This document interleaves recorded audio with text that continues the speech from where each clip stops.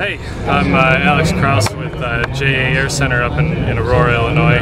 Uh, we are the Cessna dealer for Illinois Wisconsin, and um, I'm here today at the Mount Vernon Light Sport Expo with uh, Cessna's newest foray into the training market, the 162 Skycatcher. Um, for the past year and a half or so, I've been bebopping around our, our territory, Illinois, Wisconsin, and, this guy I've accrued about 80, 85 hours in it, and been having entirely way too much fun doing it. Um, but uh, our, our, flight school currently operates uh, four of these um, right now, and, and, we almost can't keep them on the ground. They're, they're getting about 40, 50, 60 hours a month month out of them, and, and uh, you know, from, from a student standpoint, they're for $100 an hour, $110 an hour, you can rent a brand new airplane with glass panel avionics and you know something that hasn't been beaten up by, by renters over the past 30, 40 years. So uh, from, from, a renters and a training standpoint, it's uh, it's it's a really good option. So. Um,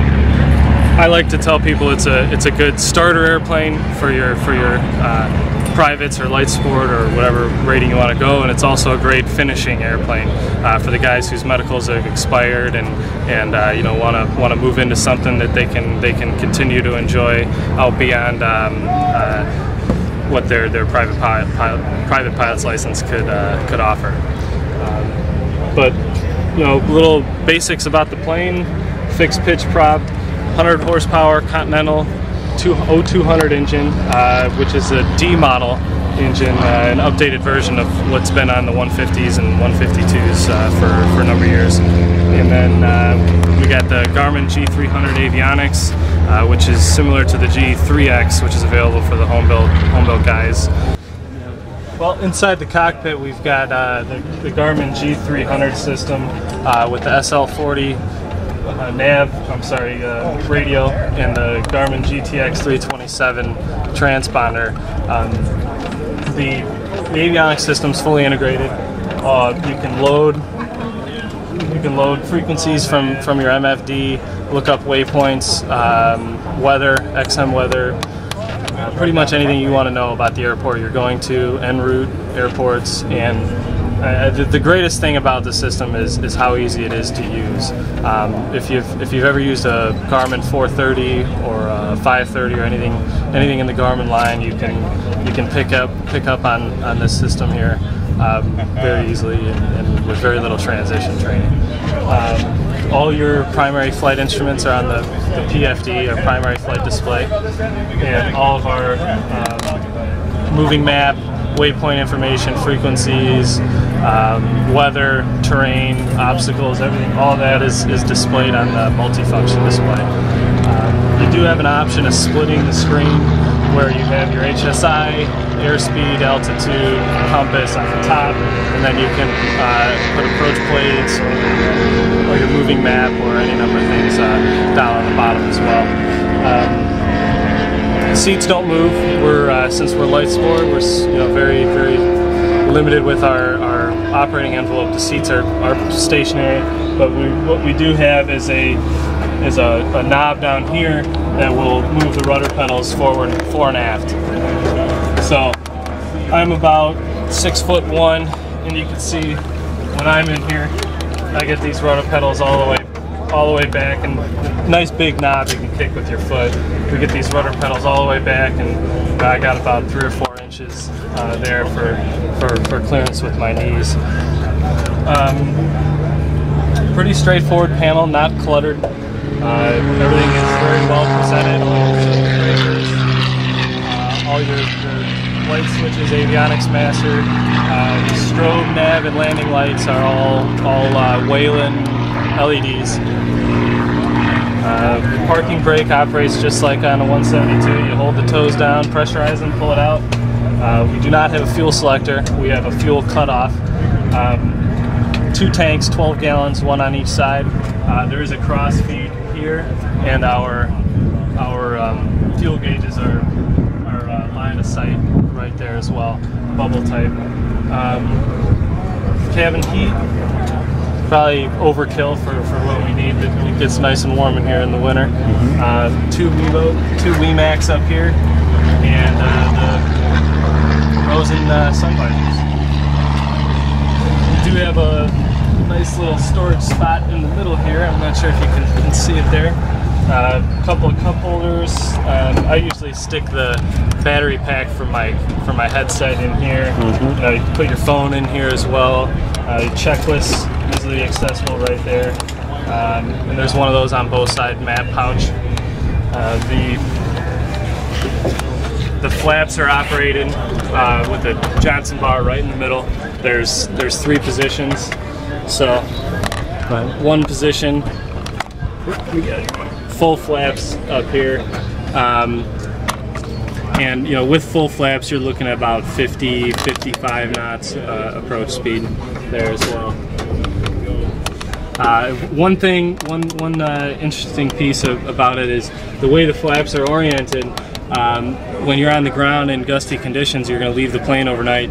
You want to put the flaps all the way down, uh, leave them down like that. Otherwise, you you're liable to have them flopping around uh, since they are cable operated, not electric or anything like that. Uh, we do have a pretty ample storage space in the back. I'm sorry, the operating limitations are 50 pounds in the back, so. Um, but it allows you to put you know big, big, big items in there. So you know you got a 30 pound dog and, and he's got his big container. You put him right back in there. He'd be more than happy. LED lights uh, lighting up the panel. Um, all in all, uh, pretty pretty Spartan interior, and, and you know not not a whole lot of frills and and um, extra stuff in there. It's it's what you need, and, and not a whole lot more. Uh, so, you know, in, a, in, a, training environment, it's it's a phenomenal airplane. Uh, I, I usually flight plan for about 110 knots, um, and I get about four four and a half gallons an hour out of the out of the tanks. Um, full fuel payload's only about 100 350, so you're uh, you're kind of limited, but you leave a little bit of fuel off. I, we never really put more than half tanks in the plane, uh, so you get about two hour leg that way, two three hour leg with your with your reserve there, uh, 45 minute reserve. Yeah, so I, have I've done a couple of pretty long cross countries. I've gone uh, come from Orlando up to Chicago uh, a couple times and first time it took me 10 and a half hours and I was dodging weather the whole way, ended up having to spend the night in, uh, in Auburn. Uh, but the second time I made two stops and made it all the way up to Chicago in uh, six and a half hours. Um, so that was that was pretty smooth. I had a, tailwinds are real nice. It's, uh, it's it's comfy inside. The seats are seats are reasonably comfortable. Sit on for, for a few hours. Um, I, I, have a, I have a lot of fun in it. Short field takeoffs, soft field takeoffs are, are a breeze. Stalls are a non-event. Um, visibility is phenomenal. You, you, can see just about right under the airplane. Yeah, low door sills and, and, you know it almost the, the can the whole cabin. I'm sorry, the whole fuselage kind of has an angle to it, right. so it's wider at the top than it is at the bottom. So when you look out, you get to look almost directly straight down. I mean, I'm I'm six one, and I, you know, I've never, I haven't bumped my head. I know even in the the 182s, in the in the 206s, and that I fly, I, uh, you know, if I'm moving around or adjusting I, with my headset, every once in a while, I'll bump the top of my head on, on the ceiling. Uh, for, for how small it is, the the interior of the cabin is is uh, is quite quite spacious.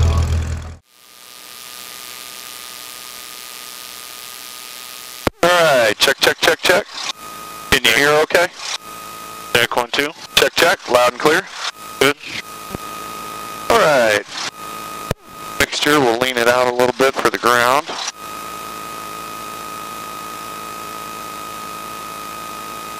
Alright. Leaning light switch off, strobes off. That's basically what we just did is with external power. There's so many different ways to start this thing. Alright, taxi check. We're going to check our brakes. We'll check our flight instruments as we're taxiing out. We'll go over there in the corner and we'll do our run-up over there. Okay? You want to hang on to that? Yes, We'll leave the doors open for now. But if you see, see how I'm using the rudders?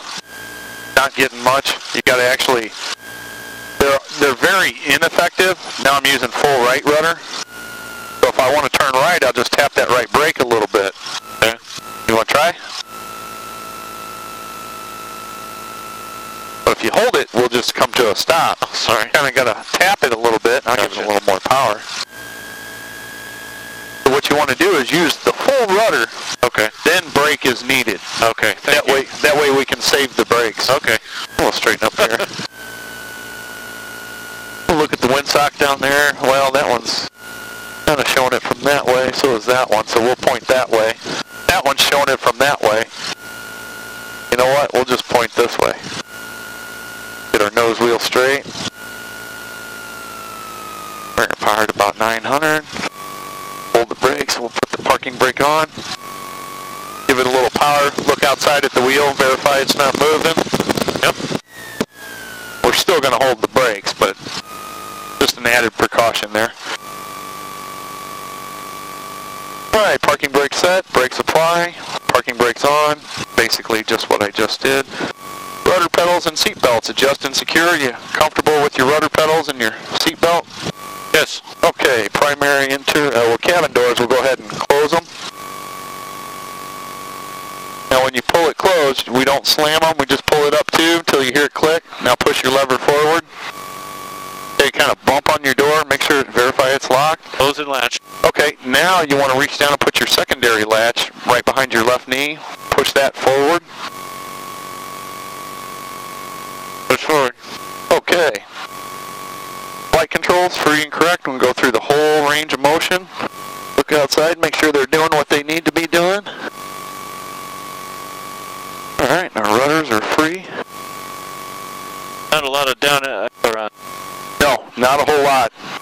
not much at all. Uh, flight instruments, we'll go ahead and check. We'll go ahead and accept this. It's VFR, so it doesn't have to be up to date. Alright, flight instrument, PFD, verify no red X's. In our PFD, we have no red X's. yes. Altimeter is set. Well, we gotta get ATIS first.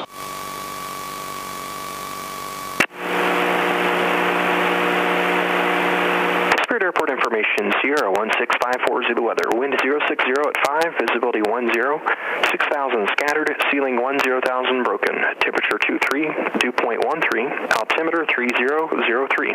3003. So we have to hit Baro. 3003. Press Baro again. Now our altimeter set and the field elevation is 463, so we're within 75 feet. Uh, heading indicator showing known headings too. And I checked all the other flight instruments on the way over here, showing the bank and the ball to the outside of the turn. Uh, engine indicating system. So we'll turn this one down here over to engine indicating. We'll check the parameters, no red X's. Altimeter set, fuel quantity indicators, about a little more than half tank. A little more on that one. And over here on this side, we're right at a half tank for ground. You just a float up here. Yeah, pretty much. And when you take off, you're climbing, it tends to show lower. So when, like the other day, uh, I was with the owner of the plane. We had plenty of fuel, but I wanted to point something out to him. We were climbing out, and it, the ball was all the way on the bottom. He's seen that. He's like, "Oh!" I said, "Now level out. Give it, a, give it a couple of minutes." I said, "Now look at him." And it was up above a quarter of a tank. So, all right, fuel primers in and locked. Mixture control full rich. Autopilot we don't have. Elevator trim switch. We'll set that for takeoff. That's controlled right here on your, Oh, right on the stick. right on the stick with your thumb. Very nice. We'll put it right to takeoff. All right, throttle. Here's our RPMs right here. We'll go to 1700. Still holding the brakes even though we've got the parking brake on.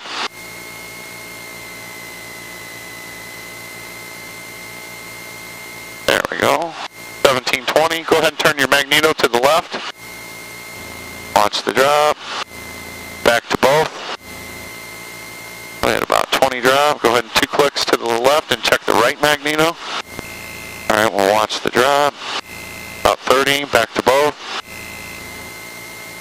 Alright, What's an acceptable limit on that? no more than 150 on either magneto and no more than 50 difference between them. We had 20 on one, 50 on, or 30 on the other.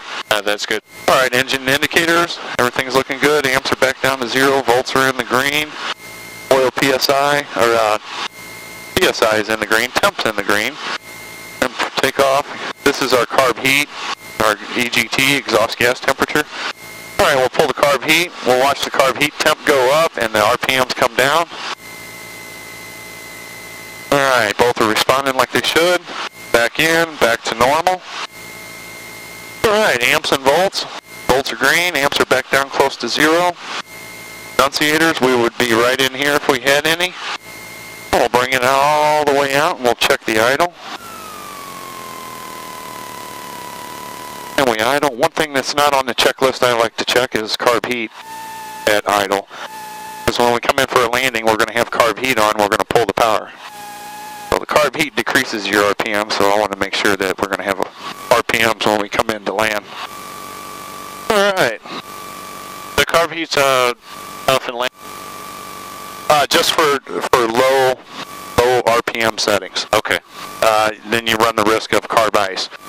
If we pull the power back a little bit, our temp should actually drop a little bit. TV Alpha. Well, here.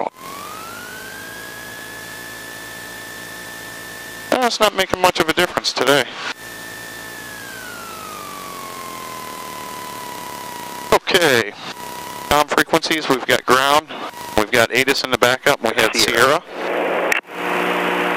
GPS flight plan, we're not going to set one. Spirit Airport We'll set one and come back if we need to. Transponder, on 1200, and it's on standby. When we get moving, this one on automatically comes on. 2.13. If not, we have to verify and press altitude. Visual approach and 8 right in use. But it'll go back to standby when we're on the ground.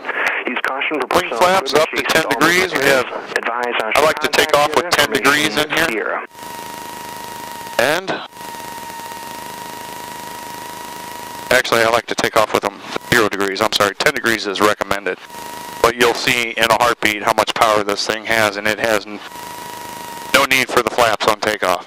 It'll get off the ground. It's it's impressive. All right, transponder wing flaps, nav light switch is on. Strobe light switch. You want to go ahead and turn the strobe light switch on. BRS we don't have. And parking brake. We'll take parking brake off. All right. Okay. It's rolling. All right, and that's what we're going to do on takeoff. Flap 0 to 10, carb heat's going to be off, throttle's going to be full, mixture's going to be rich. Maintain directional control, heels on the floor with our rudders, no brakes. Elevator control, we're going to lift our nose at 50 knots. Climb out is 60 to 75 knots. If we just put that nose just barely above the horizon, it usually gets us right at 75 and we don't stare at that. Alright, wing flaps, if we're using them, we'll wait till we get about 200 feet AGL before we take them out. And make sure that we've got a good climb speed and a positive rate of climb.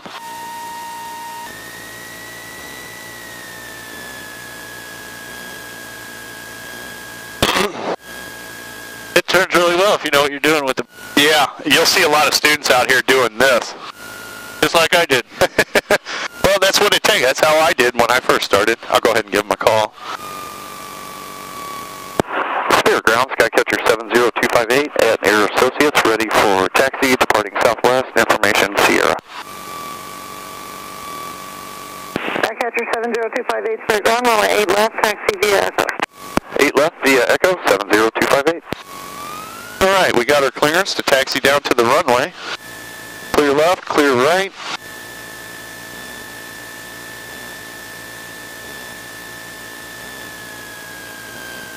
And once we get out here, we'll back the power down so we don't get going too fast. Got vents going on up here. Yeah, we've got one on each side. Good. Counterclockwise opens it, clockwise closes them. It's pretty comfortable for, uh, You've got a lot of room. yeah, you're right, it's, it's fairly wide and very high. You don't Right. have a, uh, feel of being too closed up. Right.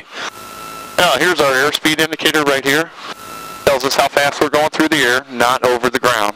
We've got 30 knots of headwind. Our ground speed's going to be 30 knots slower than what that says. Our attitude indicator in relation to the, the ground, the sky, the horizon. Our, our bank indicator here, you got 10, 20, 30, 45. We don't want to ever get past 45. Altimeter tells us how high we are above sea level, not above ground. Our turn coordinator The inclinometer is right here, the ball. Uh, this kind of replaces the old turn coordinator. More or less, you've got the, your wings right there. If you want to hold a standard rate turn, there's a magenta lubber line that comes out. You hold it on that first little white tick mark there. That's a standard rate turn. Heading indicator obviously tells us which way we're pointed.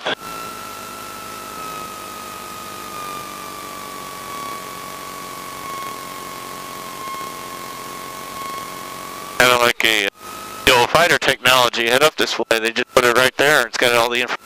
Yeah. Really, really well designed. Well, the problem is a lot of people like to stare at it. And they, I try to teach them to fly the nose. The nose is going to tell you before those will.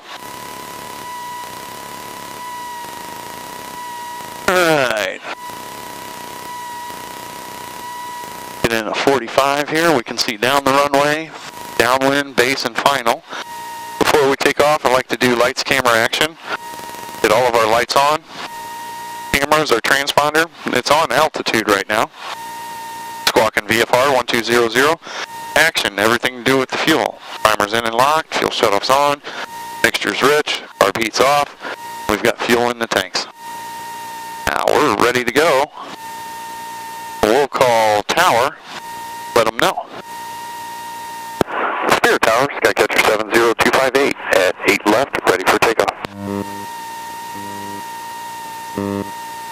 Skycatcher 70258, Spirit Tower, right turn southwestbound approved, runway 8 left, cleared for takeoff. 8 left, cleared for takeoff with a right turn out to the southwest, 70258. Alright, lined up on the center line. Heading indicator showing the right heading, even showing our center line there. Very nice. Smooth transition from idle to full power. We'll start using right rudder to maintain directional control. There's full power, airspeed's alive, everything's green. 50 knots, we're going to bring our nose wheel up, so we'll start lifting off. There we go. Too easy, huh? Very impressive. Trim it down a little bit. So now we're going to control our airspeed with our pitch. Right. So if we hold our nose right there, usually gets us right around that 75. If you want to look at our checklist, we can do our en-route climb checklist. In right climb, uh, airspeed 65 to 75. Okay. Right on. Uh, throttle control full. Mixture control rich. Okay. That's about it. And once we get up to cruise, we'll set that. We'll get, we'll get up to about 1,100 feet here. We'll make our right turnout. What's our rate of climb about now? Right about now, we're doing about 1,500, or is that 1,000? 1,000. Oh, there it is. Good. All right. 1100, clear right. We'll go ahead and turn right. You want to fly? You have the controls? I have the controls. You have the controls. Keep that right rudder in. And we'll climb to 2,500. We'll keep on turning down this way.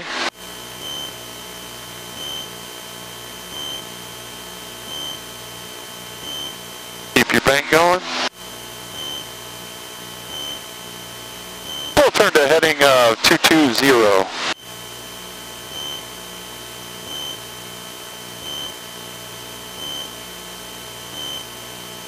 Handles very well. It is. Very I like- neat. I Very like neat. the uh, control system. Uh, I guess uh, I'm not used to flying, so it's okay.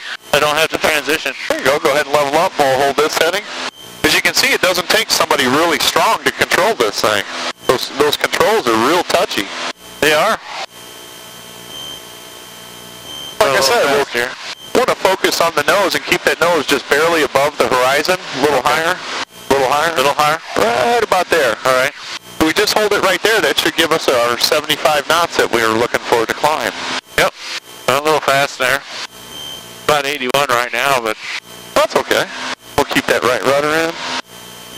are we still uh, trimmed up for takeoff? Yeah, let go. Kind of holds it there. Very nice.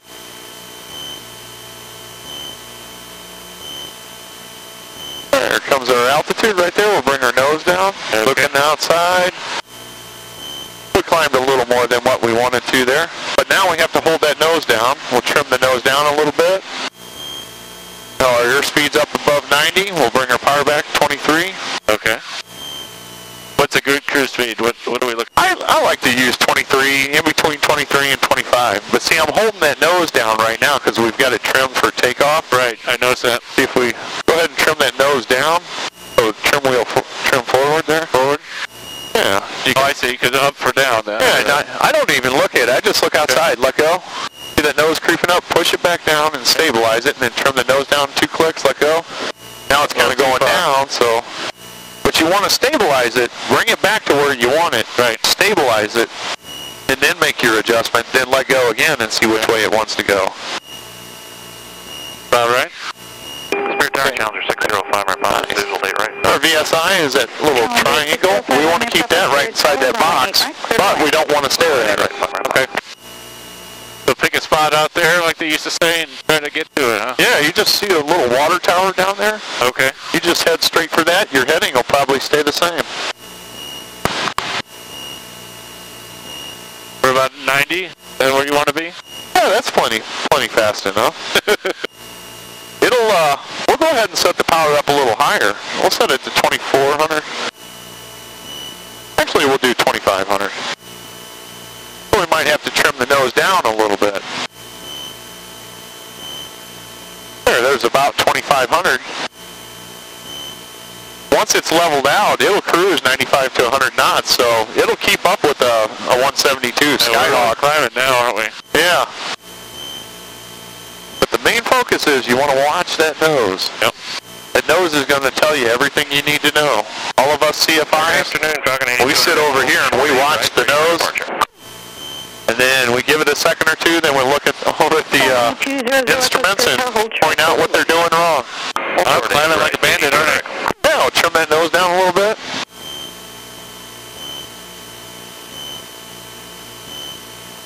Now, it might get a little bumpy over here because of the hills. All right, it makes it more fun. you fly with uh, aileron mostly. Do you? What is uh, rudder uh, control? Well, the rudder is going to keep your turns coordinated. Right. So, you look at the nose out there, if we just kind of rock it back and forth. Yep. See how that nose just kind of flails around? Right. Well, if we use the rudders, feel like you're moving around. When you use the rudders, Falcon 8200 Echo, turn right heading 150, runway 8 right, cleared for we quit hitting all these bumps. 50 in the heading 8 right, clear for But it keeps you feeling like your butt's staying right in that seat. Exactly. And if you do it perfect, if you can find some smooth air to do it in, keep that ball in the center, put a cup of coffee up here, you won't spill it.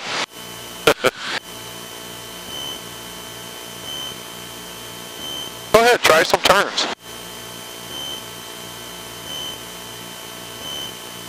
Remember, left turn, left rudder.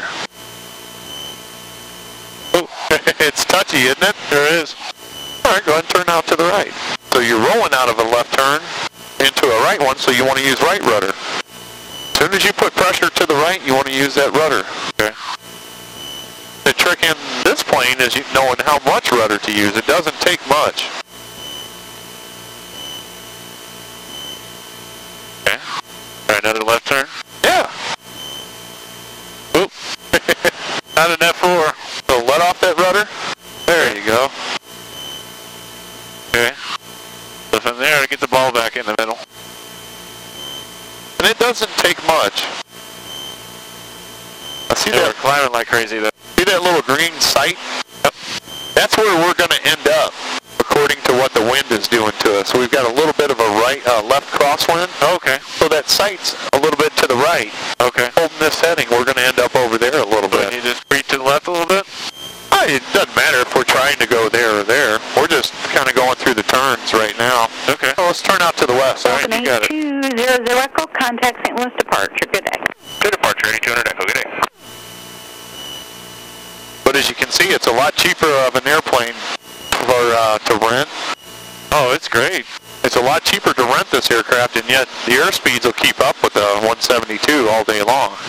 I noticed that. I mean, we were, you know, with my lack of skill, we're between 90 and 105 I or pulled so. the power back a little bit on that know, one. It's uh, really good performance, really. Yeah, I mean, we can even we can even put our cruise cruise performance up to 2750 on the RPMs. Okay. 8100. And as long as we're at 25, so we could cruise right up there with the Skyhawk real easy if we put the power up to the upper end of the cruise. We're right at 99 or 102 right now. Right. So if you only had two people going somewhere, I would take this rather than an old 172. Yeah, we're, we're uh, clipping right along here. Challenger 5 Romeo Papa going to the Don't White ask me where we are, though. Uh, there's the Labadie Stacks right here. Challenger 5 Romeo Papa. And Washington's right up over around the corner, and Spirit's right back over here. Here, I'll turn the map page on for you. Turn right, heading 150, runway 8 very right, cool. takeoff. So we can change the range. Bouncing around. This thing's a lot more sensitive to the up and down drafts because it's so much lighter. It's so much more responsive to control inputs and the wind. It's good and bad. I mean, on a rough, windy day, it might not be desirable, but for for flying around sightseeing, size of these windows, I can lean over and I can look straight down in between my wheel and the, in the, the fuselage. I noticed that the view is spectacular. It is really good.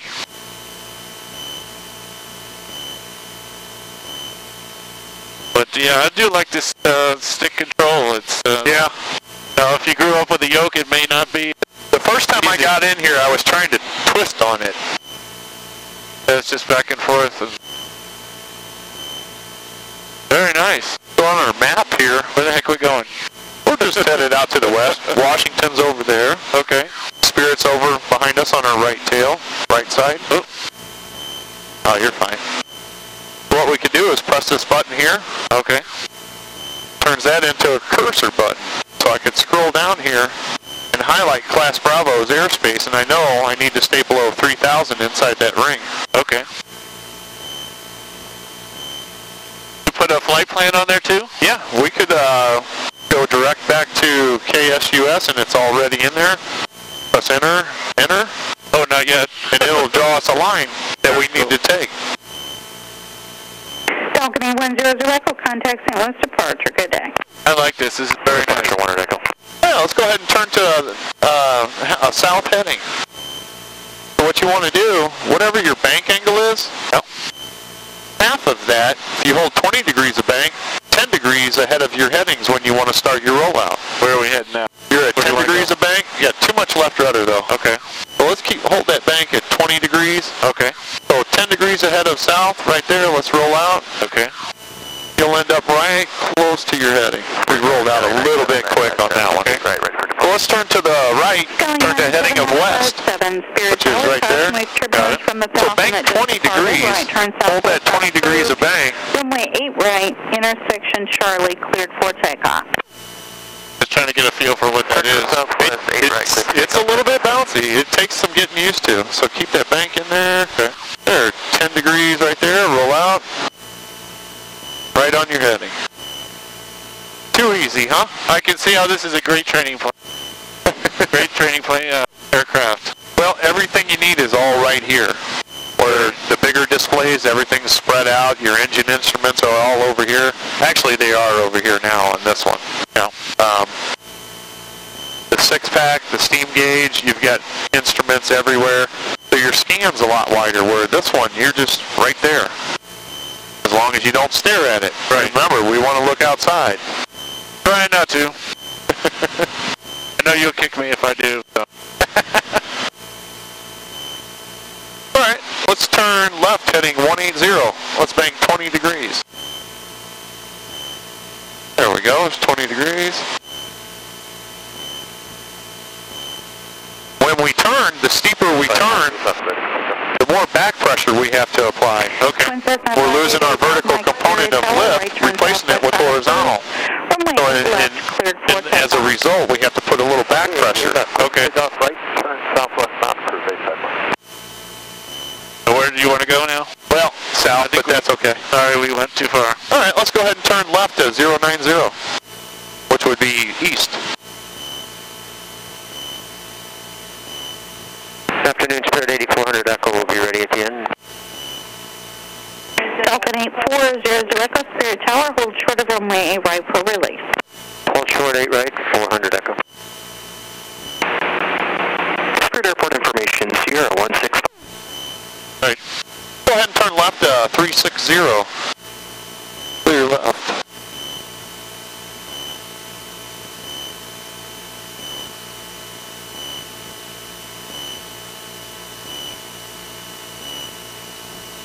Pretty easy to handle though, isn't it? Yeah, surprisingly, I don't know where I'm going here. Ah, 360 would be right there. I'm just not used to the uh, rudder uh, pressure. It takes a lot of getting used to. I'm not sure if I'm doing enough or not. I fly Skyhawks a lot, and then I hop in here and I do the same thing. I'm really hitting those rudders a lot. On takeoff, it's easy because you don't think about it. You just keep it on the center line with more or less right rudder. Right. Falcon 8400. Pretty much on takeoff, you can throw your left foot away. Turn left heading 3. I wouldn't advise it, but you could do it. 310. Above all things, it's cheaper than the other planes. Right. And it's it's got a lot nicer instruments, avionics in it. it. It's brand new. Where a lot of the other the older ones were the old gauge type. Where this is all digital. It's a lot cheaper to fly this. I think it's more fun. You can see a lot more. Yeah, the visibility is outstanding.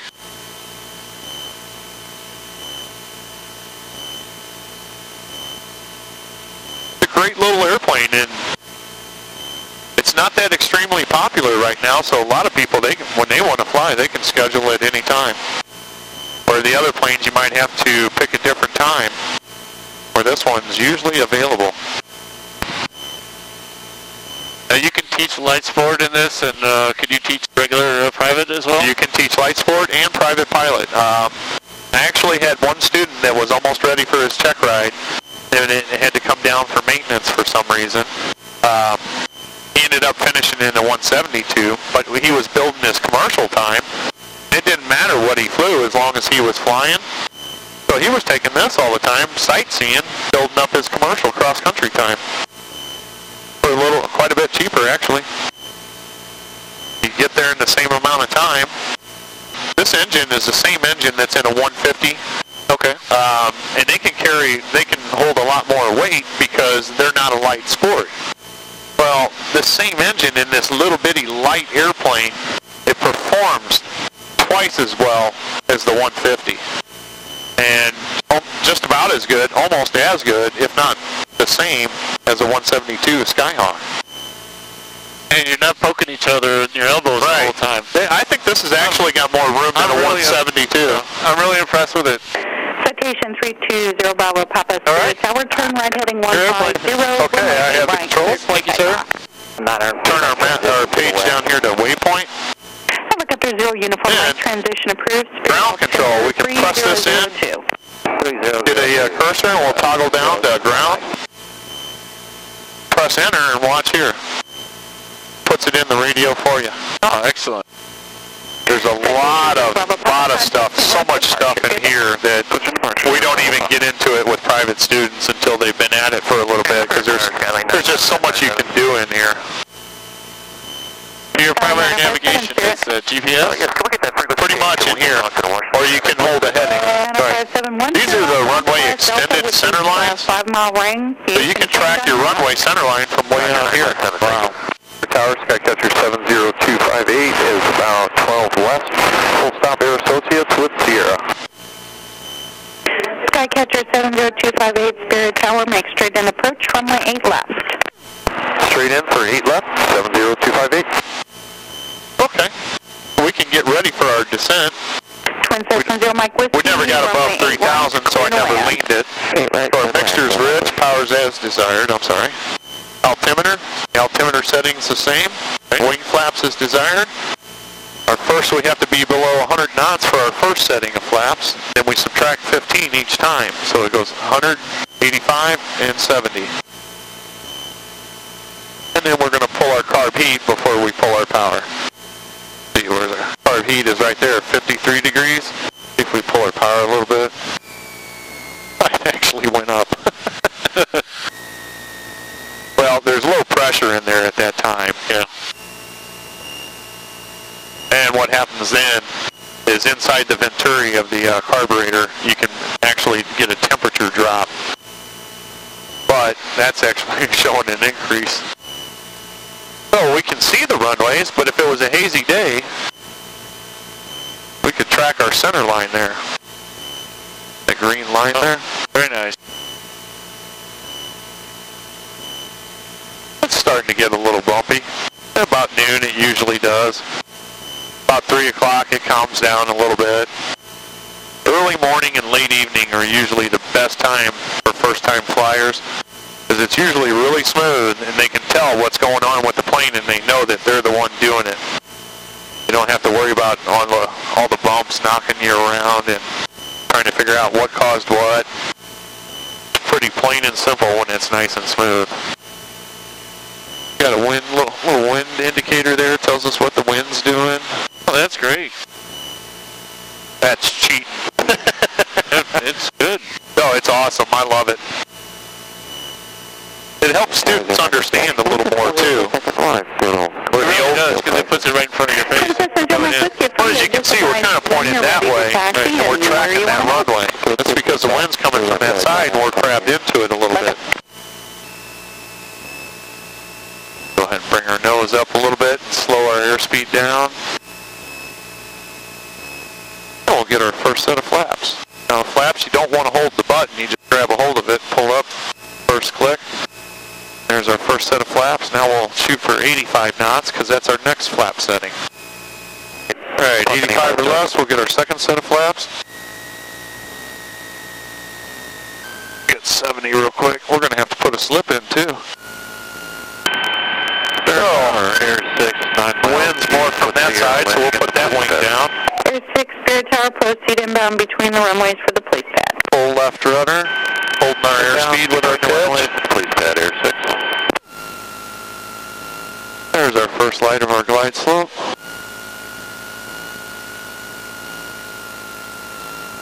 Alright, we maintain the center line with the ailerons and keep our nose straight with the rudder. Runway 8 left, line Slowly up start bringing our nose up. Line up and wait, 8 left, 2369. Keep fighting it off with that nose up. There we go. Very nice. Yeah, we get to make the first taxiway.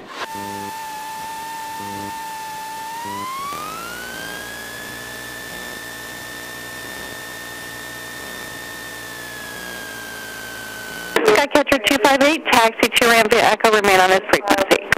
Back to the ramp via Echo, this frequency 70258, thanks. You just don't want to do your run up with the doors open. Oh, yeah. Sometimes it needs a little power to help it through the turn. Same thing in the Skyhawk too. We'll just go up to the hangar and park right up by the hangar. Probably just put it back in there.